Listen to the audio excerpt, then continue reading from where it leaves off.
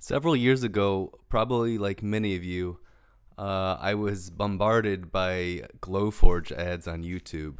And at the time, I wasn't sure why, but I just knew that I had to have a laser cutter. Uh, those ads are super intriguing. Um, so uh, at the time, I did a lot of research because uh, I felt like it was pretty expensive and I wanted to see what options were out there.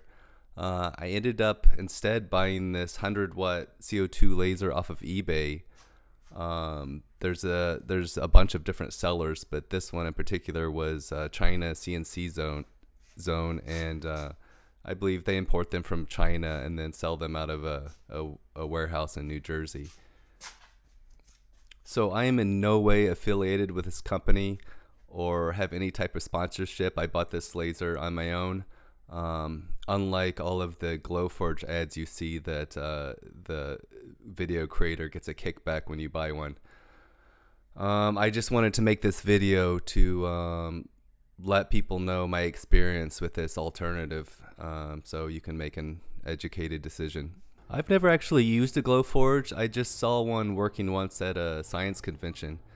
Um, but here on papers is how these two machines stack up. And, and what I was really uh, considering was that uh, the price is very similar. Um, the eBay laser, you get a way more powerful laser tube, 100 watt versus a 40 watt. The, the cutting area is much larger. You can see I made a little representation of this laser. You can fit three times the size of the bed of the Glowforge, which which is substantial. And also you have a, a greater cutting height if you want to engrave a, a thick object. Uh, I don't know exactly how the fast the Glowforge is because they don't put that information out anywhere. Um, I know uh, my machine. I run it with Lightburn, which is uh, is a pretty good software as far as I'm concerned. Uh, I've heard complaints of Glowforge users that uh, their software requires Wi-Fi connection, so uh, you know if they don't have internet, they can't use their cutter. Um, I know the only other couple things that Glowforge might have going for it is that there seems to be a large community online around it for support, uh, probably because of their incredible marketing campaign and their referral program. Um, also, uh, I see that it has a camera for aligning your workpiece.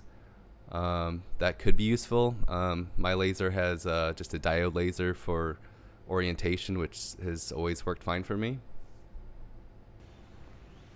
Here's just a couple photos of, of how the laser arrived to my house in this large crate. I had to pay, I think, an extra 150 bucks for a liftgate service so they would bring it into my garage.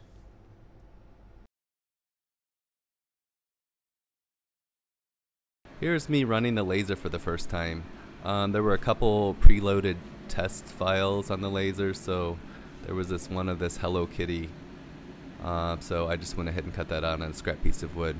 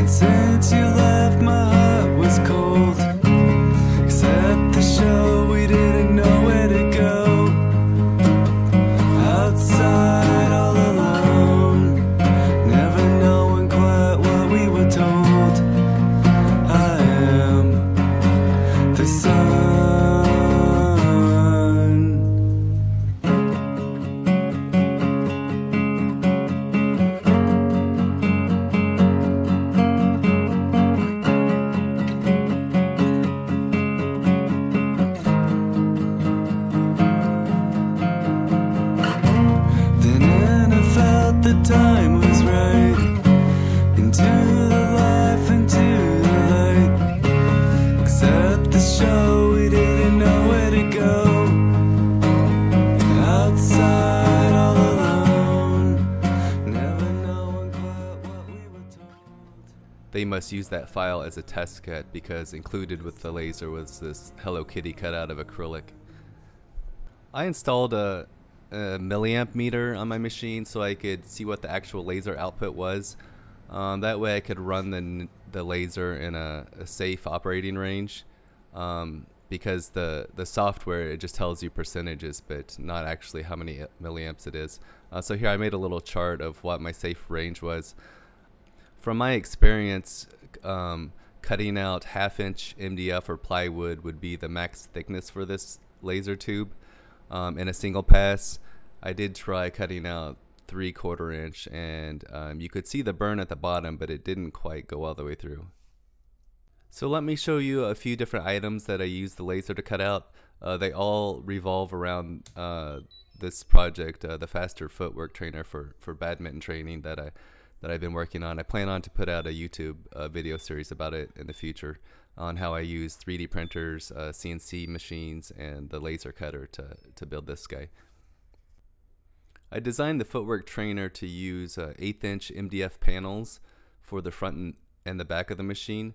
Um, I apply a material called Oramask over the MDF before I cut it, and it helps keep off some of the smoke residue uh, while it cuts.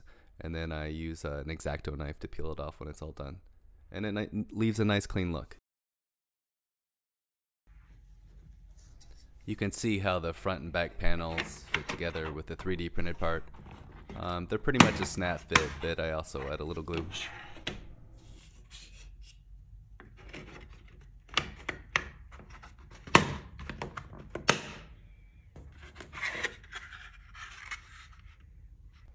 I also use the laser to cut out the packaging for the footwork trainer. Um, I make uh, basically a box out of a black paper and then I use um, a craft paper to make a sleeve.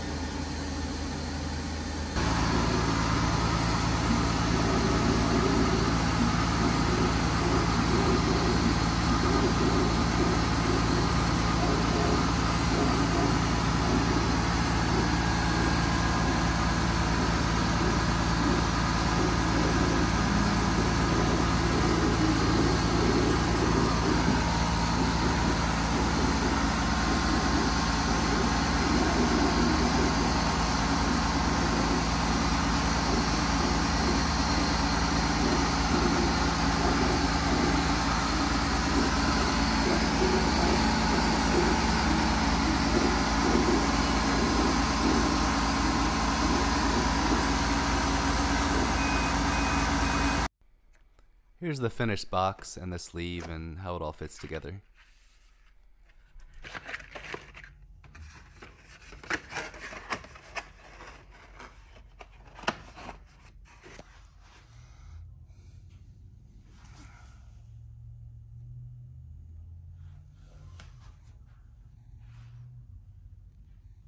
Lastly, I used the machine to make cardboard shipping boxes. Um, I designed up uh, a box to fit between one and five of the devices, and then I can just cut out the box that I need um, when I'm ready to ship.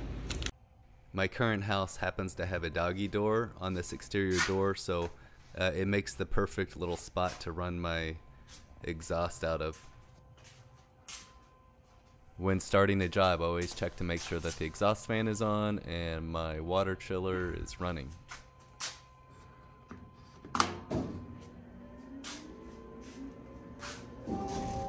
The laser goes through a homing sequence uh, whenever you start it up.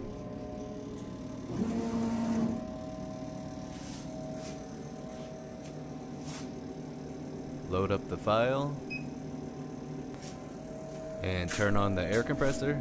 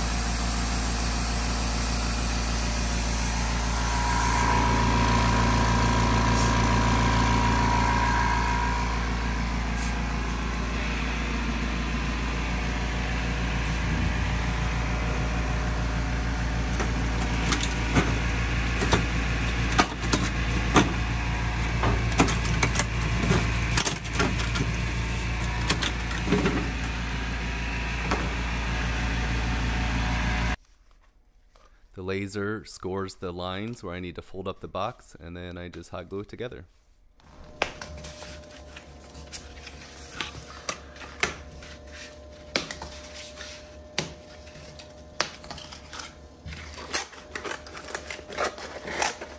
After having this machine for a couple years, uh, I don't regret it one bit. Um, I feel like I got a much more capable machine for the same price as a Glowforge. Um, I guess the biggest trade-off would be that um, I've had to deal with a couple issues on my own. Where uh, with the Glowforge, I probably would have had some support uh, online for those. So let me let me tell you about my experience. First, um, the eBay seller, um, I thought they were great. You know, at the time when I bought it, their their CW 5000 chiller was on back ordered and so they sent me a CW 3000 for the meantime. And then a couple weeks later, they sent me the 5000 also and just let me keep the extra chiller. So, you know, I ended up using that on my CNC machine, which was great. I've really been happy with the Ruida controller uh, with Lightburn. I've really had no issues and really it's all been self explanatory. Um, also, the machine has an autofocus feature, which I really like. At the push of a button, it can set its height. Um, for the things that I would change about this machine, uh, first, the exhaust fan that's on it is pretty wimpy. I had an, uh, an external inline fan as well to help get the smoke out of there. Um, also, the, the door, it could use some kind of seal on it because even though I'm exhausting the smoke out of there, it still will stink up the room a little bit. Uh, also, it comes with an aquarium pump for the air assist which is really inadequate. It's about enough air to just keep the smoke off the laser lens. Other than that, um, you know, I've replaced it with uh, actual air compressor so I can actually um, use the air to help cut cleaner and deeper. Um, I had one problem that I noticed whenever I would open the door, um, it would power off the whole machine. Um, there's a safety switch there, which is great, but um, I realized it was wired wrong. So uh, I rewired it, and now whenever I open the door, it just will pause the machine, let me do what I need to do. When I close it, will continue, uh, which is how it was supposed to operate. Um, so I'm not sure what happened there at the factory.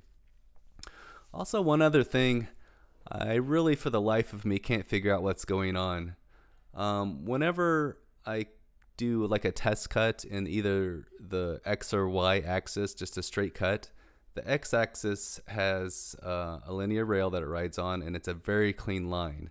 However, the y-axis has like a round linear rail, and I noticed like the slightest bit of a little jitter in the line. I thought maybe it was caused by like a bad bearing or um, something was loose, but um, I, for the life of me, couldn't figure out what was causing it.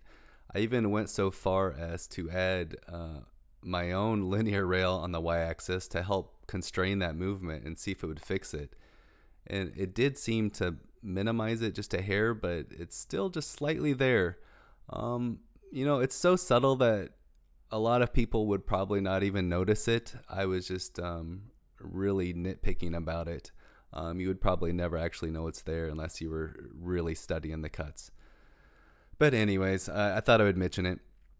Um, so yeah, you know, here's my experience with this machine. Hopefully, if you're considering some kind of Glowforge alternative, that this will be useful to you. All right, thanks. Bye.